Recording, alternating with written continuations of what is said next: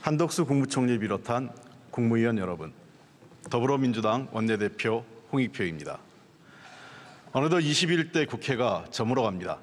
문재인 정부에서 시작해서 윤석열 정부까지 여야가 자리를 바꾸며 경쟁하고 있습니다. 이 자리에 계신 의원님 모두 수고하셨습니다. 올해 여러분 모두의 건승을 기원드립니다. 존경하는 국민 여러분, 이제 총선이 50일 앞으로 다가왔습니다. 윤석열 정부 2년 만에 언론 자유를 비롯한 민주주의는 후퇴하고 경제와 민생은 파탄 직전입니다. 국격은 계속해서 추락하고 있습니다. 윤석열 대통령이 국민에게 약속했던 공정과 상식은 흔적도 찾을 수 없습니다.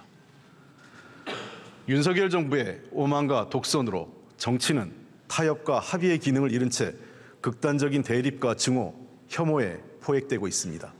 여기에 더불어민주당의 책임도 물론 있습니다. 지난 시기 저희는 국민이 보내주신 성원과 기대에 부응하지 못했습니다. 더불어민주당이 부족했던 점에 다시 한번 머리 숙여 사과드립니다. 많이 부족하지만 현재 대한민국이 직면하고 있는 위기를 극복할 수 있는 대안 세력은 더불어민주당 뿐입니다. 민주주의와 민생을 지킬 수 있는 힘을 모아 주십시오. 오만하고 무도한 권력에게 입법부까지 넘어간다면 대한민국은 더 이상 희망을 찾을 수 없게 될 것입니다. 한국 정치에서 협력과 상생은 사라지게 될 것입니다. 이번 총선 국민의 선택을 통해 대한민국이 미래로 가느냐, 과거로 뒷걸음치느냐, 민주주의를 회복하느냐, 권위주의로 회귀하느냐, 공정하고 상식적인 사회냐, 반칙과 특권이 팡치는 사회로 가느냐를 결정하게 될 것입니다.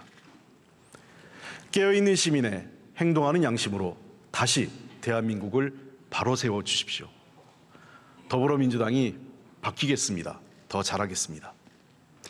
국민과 함께 미래로 가기 위해 대한민국 정치에서 사라진 상생과 협력, 관용과 협업의 정치를 시작하겠습니다. 소통으로 지혜를 모아 개혁 과제들을 해결해 나감으로써 국민에게 힘이 되는 정치에 앞장서겠습니다. 존경하는 선배, 동료 의원 여러분, 오늘 저는 대한민국의 미래를 위해 관용과 협업의 정치를 말씀드리고자 합니다. 2015년 9월 14일 미국 워싱턴주 햄퍼드와 루이지애나주 리빙스턴에 있는 레이저 간섭계 중력파 관측소 일명 라이고 검출기에 이상한 신호가 잡혔습니다. 이후 라이고 비르고 연구전에서 최초 중력파 검출로 명명되어 세상에 발표된 신호였습니다. 중력파 발견은 블랙홀, 중성자별, 초신성 관측에 새로운 눈이 생기는 천체 물리학계의 판도를 단번에 바꿀 획기적 사건이었습니다. 그런데 문제가 있었습니다.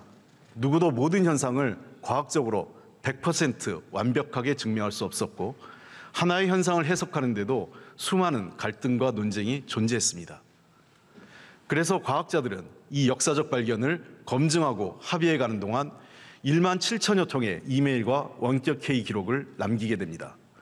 과다한 업무 중에도 민주적 절차를 지키고 경쟁 속에서도 합의에 이르러 2016년 2월 드디어 한 편의 논문을 발표했습니다.